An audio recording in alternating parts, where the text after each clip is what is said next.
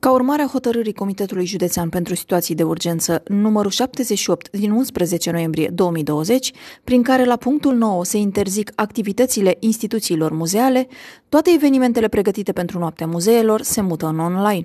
Astfel, ediția din acest an se va desfășura după următorul program. La ora 17, vernisaj online Salonul de Toamnă, ediția a patra, la sediul Muzeului Dunării de Jos din strada Progresul. Ora 17.30, vernisaj online, colecții și colecționari, ediția 6, artă și meșteșug în miniatură, expoziție de păpuși în costume tradiționale. Iar la ora 18, lansarea online a filmului proiectului cultural Scoarța, proiect realizat de elevii clasei a 7 și a școlii gimnaziale numărul 1 cu Zavodă, în colaborare cu Muzeul Dunării de Jos.